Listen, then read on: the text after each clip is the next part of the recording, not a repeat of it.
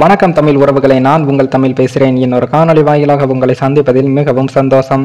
இன்னைக்கு நாம என்ன பார்க்க போறோம்னா இந்தியா வர்சஸ் ஆஸ்திரேலியா மோதும் நான்காவது டி டுவெண்டி போட்டியில் இந்திய அணியின் பிளேயிங் லெவன் யாரும் எதிர்பார்க்காத நான்கு மாற்றம். அதாவது இந்திய அணியில் நிரந்தரம் இடம் பிடிப்பார் என்று கருதப்பட்ட பிரசித் கிருஷ்ணா ஆஸ்திரேலியா அணிக்கு எதிரான நான்காவது டி டுவெண்டி போட்டியிலிருந்து நீக்கப்பட உள்ளதாகவும் தகவல்கள் வெளியாகியுள்ளது இந்தியா vs ஆஸ்திரேலியா இடையிலான ஐந்து போட்டிகள் கொண்ட டி டுவெண்டி தொடரில் மூன்று போட்டிகள் முடிந்துள்ளனர். இதில் முதல் இரண்டு போட்டிகளில் வென்ற இந்திய அணி மூன்றாவது போட்டியில் தோல்வி கிடைந்துள்ளது அந்த தோல்விக்கு முக்கிய காரணம் வேகப்பந்து வீச்சாளர் பிரசித் கிருஷ்ணா தான். கடைசி ஓவரில் ஆஸ்திரேலியாவின் வெற்றிக்கு இருபத்தி ஓரு ரன்கள் தேவை என்ற நிலையில் பந்து வீசிய பிரசித் கிருஷ்ணா சரியாக பந்து வீசாததால் ஆஸ்திரேலியா வீரர் மேக்ஸ்வெல் எளிதாக பவுண்டரிகளை அடித்து ஆஸ்திரேலியாவை வெற்றி பெற செய்தார். அதே போல பிரசித் கிருஷ்ணா இந்த தொடர் முழுவதுமே மோசமான பந்து வீச்சை பதிவு செய்து இருக்கிறார். முதல் போட்டியில் நான்கு ஓவர்களில் ஐம்பது ரன்களை கொடுத்து ஒரு விக்கெட்டை வீழ்த்தியிருந்தார். இரண்டாவது போட்டியில் நான்கு ஓவர்களில் நாற்பத்தி ஒரு ரன்களை கொடுத்து மூன்று விக்கெட்டுகளை வீழ்த்தியிருந்தார். மூன்றாவது போட்டியில் மூன்று ஓவர்களில் அறுபத்தி எட்டு ரன்களை விட்டுக் கொடுத்து எதுவும் வீழ்த்தவில்லை. அவர் மூன்று போட்டிகளும் குறைந்தது ஓவருக்கு பத்து ரன்களுக்கு மேல் கொடுத்துள்ளார். அதிலும் மூன்றாவது போட்டியில் ஓவருக்கு சராசரியாக பதினேழு ரன்களை விட்டு கொடுத்து உள்ளார். இரண்டாவது போட்டியில் அவர் எடுத்த மூன்று விக்கெட்டுகளை தவிர அவருக்கு சாதகமாக எந்த விஷயமும் கிடையாது. மூன்றாவது போட்டியில் தன் திருமணம் காரணமாக வேகப்பந்து வீச்சாளர் முகேஷ்குமார் பங்கேற்காத நிலையில் மற்றொரு வேகப்பந்து வீச்சாளர் ஆவேஸ்கான் அணியில் இடம் பிடித்து நான்கு ஓவர்களில் முப்பத்தி ஏழு ரன்களை கொடுத்து ஒரு விக்கெட் வீழ்த்தியிருந்தார். அவருக்கு அடுத்த போட்டியில் வாய்ப்பு கிடைக்கக்கூடும். அதே போல முகேஷ்குமார் அணிக்கு திரும்பியிருக்கும் நிலையில் அவர் நான்காவது போட்டியில் பங்கேற்க உள்ளார். மேலும் வேகப்பந்து வீச்சாளர் தீபக் சஹார் அணியில் சேர்க்கப்பட்டு இருக்கிறார். ஆவேஸ்கான் அல்லது அல்லது தீபக் சஹார் அணியில் சேர்க்கப்பட்டால் ஒரு வேகப்பந்து வீச்சாளரை நீக்க வேண்டும். அது பிரசித் கிருஷ்ணா அவர்கள் இந்த போட்டியில் நீக்கப்பட வாய்ப்பு உள்ளது.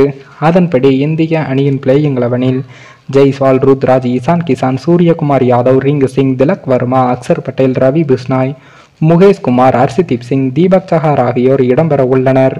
முன்னதாக டி டுவெண்டி தொடரில் நான்காவது போட்டியில் இந்திய அணிக்கு பெரும் சவாலாக இருக்கப் போகிறார் ஆஸ்திரேலியா அணியின் வேகப்பந்து வீச்சாளர் ஜாசன் பெஹ்ரன்டாப் டி டுவெண்டி போட்டிகளில் கூட மெய்டன் ஓவர் வீசும் அவரை சமாளிக்க எந்த வழியும் இல்லாமல் இந்திய அணி தற்போது தவித்து வருகிறது.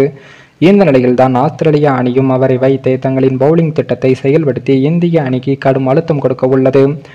இந்தியா வெசஸ் ஆஸ்திரேலியா அணிகளுக்கு இடையிலான ஐந்து போட்டிகள் கொண்ட டி டுவெண்டி தொடரில் இந்தியா இரண்டு போட்டிகளையும் ஆஸ்திரேலியா ஒரு போட்டிகளையும் வென்றுள்ளது இந்த நிலையில்தான் நான்காவது போட்டியில் இந்தியா வென்றால் தொடரை கைப்பற்றிவிடும் என்பதால் ஆஸ்திரேலியா நிச்சயம் பெரிய திட்டத்துடன் தான் நாடும் அந்த திட்டத்தின் முக்கிய அங்கமாக இருப்பவர் தான் ஜாசன் பெஹ்ரண்டா தான். அவர் முதல் போட்டி மற்றும் இரண்டாவது மூன்றாவது போட்டியில் மட்டுமே ஆஸ்திரேலிய அணியில் இடம்பெற்றார் அவர் பந்து வீசிய அந்த இரண்டு போட்டியிலும் தலா ஒரு மெய்டன் ஓவர் வீசியிருக்கிறார். முதல் போட்டியில் நான்கு ஓவர்களில் இருபத்தி ஐந்து ரன்களை கொடுத்து ஒரு விக்கெட்டை வீழ்த்தினார். மூன்றாவது போட்டியில் நான்கு ஓவர்களில் பனிரெண்டு ரன்களை மட்டுமே விட்டு கொடுத்து ஒரு விக்கெட்டையும் எடுத்தார். இந்த இரண்டு போட்டிகளிலும் இந்தியா இருநூறு ரன்களுக்கு மேல் அதிகமாகவே குவித்தது. அப்படி என்றால் இவரது ஓவர்களிலும் இந்தியா அணி ரன் குவித்திருந்தால் கூடுதலாக பதினைந்து இருபது ரன்கள் இந்திய அணிக்கு கிடைத்திருக்கும். பஹ்ரண்டாப் குறிப்பாக இன்னிங்ஸின் பவர் பிளேவில் தான் மெய்டன் ஓவர் வீசுகிறார்.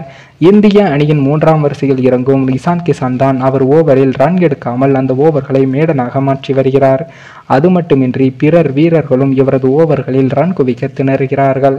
இந்த நிலையில்தான் நான்காவது போட்டியில் ஆஸ்திரேலியா நிச்சயம் பெஹண்டா ஓவருக்கு பின் விக்கெட் எடுக்கும் பந்து வீச்சாளர்களை வீச செய்து இந்தியா பேட்டிங் ஆர்டரை நிலைகுலைய செய்ய உள்ளது.